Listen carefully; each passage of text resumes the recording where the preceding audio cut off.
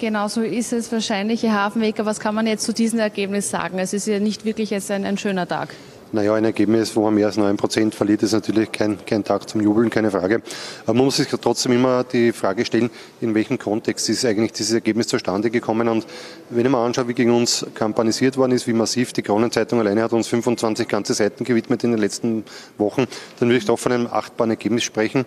Und ich möchte auch die Gelegenheit nutzen, dem Mario Kunasek und seiner Mannschaft zu gratulieren zu diesem aus ihrer Sicht fehlerfreien Wahlkampf und möchte mich auch natürlich bei den Steirerinnen und Steirern bedanken, die uns ihr Vertrauen geschenkt haben. Wird man da jetzt auch mit Wien sprechen, dass manche Sachen nicht gehen, weil es ist, ist ja einiges passiert jetzt in letzter Zeit. Gibt es da auch, der, da man sagen kann, okay, Sie vertragen, äh, Sie haben jetzt die Verantwortung über das Ganze? Nein, schauen Sie, ich glaube, das Wichtigste für die Freiheitliche Partei ist jetzt einmal Glaubwürdigkeit zurückzuerlangen, auch dafür zu sorgen, äh, dass die vielen, vielen Wähler, die auch heute in der Steiermark hier zu Hause geblieben sind, dass die wiederum äh, zurückkommen zu den Wahlurnen.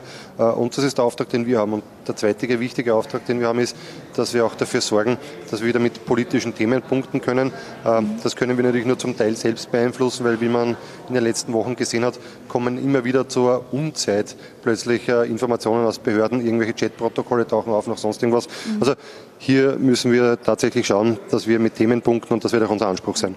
Wie soll das jetzt passieren in den nächsten Wochen oder Monaten? Hat man da jetzt schon einen Plan, dass man wieder rauskommt aus dieser ganzen Affärengeschichte?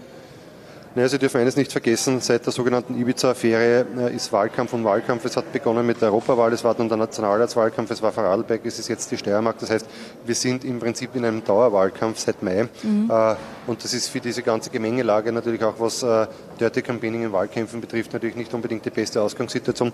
Das heißt, ich erwarte mir schon, dass nach dem Wahlreigen, der jetzt dann mit dem Burgenland endet, dass dann auch einmal wieder mehr Sachlichkeit in die Debatte kommt. Und da werden wir alles daran setzen, auch politisch wieder punkten zu können. Mhm.